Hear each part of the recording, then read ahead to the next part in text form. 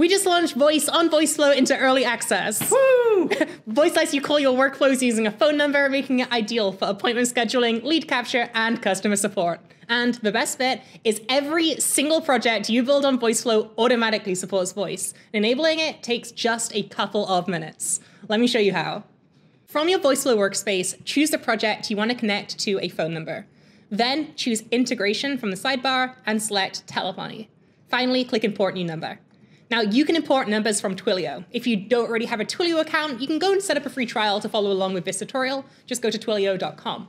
If you've already got a Twilio account, you can connect your existing phone number just fine. Head over to console.twilio.com. So now we're in Twilio's console, let's get the credentials that VoiceFlow needs. Now we don't have a phone number yet, so I'm gonna choose the phone numbers option on the sidebar. If you don't see this, click explore products and you can make it show up that way. Then I'll choose manage and buy a number.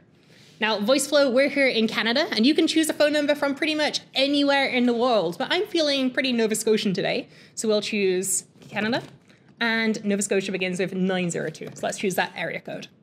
And then finally, it's as easy as saying, I want to buy this number. Now, at the bottom, we can click buy, and it's only going to cost us $1.15 monthly fee, which is pretty cool.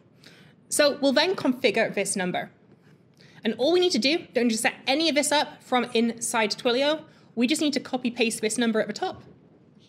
And then from VoiceFlow, paste it in at the top. If you are dealing with non-North American numbers, be careful and just make sure your area code is set correctly too. Then we need to get our Twilio account SID and auth token. We can get these both from the dashboard as well. So just head over to your account dashboard, scroll down, and you can copy paste them here. We can also name our phone numbers to keep them organized. In this example, I'll just call it my friend because it is my friend. And then we can hit import. There's one last step we need to do as well, and that is connecting our phone number to a certain environment. It means you don't need to test things in production. But we're gonna go test it in production anyway because it's more fun. So then we'll hit assign. And, and that's it. So finally, because we're in production mode, let's just go to our workflow and publish the workflow so that it is gonna work.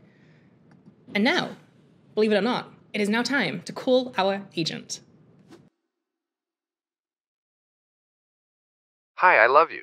I love you too, VoiceFlow. Oh, thanks. Wow, that was the easiest friend I've ever made, even if it did just hang up on me. Since Voice supports all the power of any other VoiceFlow project, you can build some really cool workflows. While trying out this feature, we built a voicemail inbox that sends some messages to Slack that it collects, and also an appointment scheduling system that connects to cal.com. I'd love to hear what you're planning on building with Voice, so let us know in the comments down below.